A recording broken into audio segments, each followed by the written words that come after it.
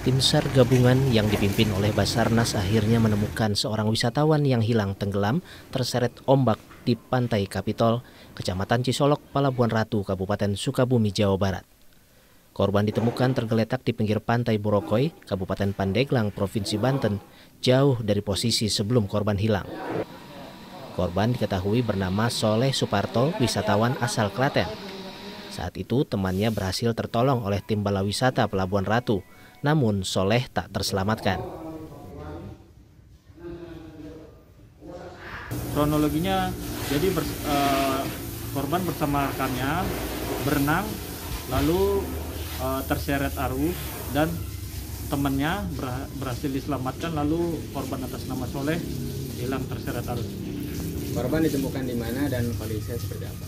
Korban ditemukan di pantai uh, pantai Boroyok, uh, di pinggir pantai kondisi dalam keadaan meninggal dunia.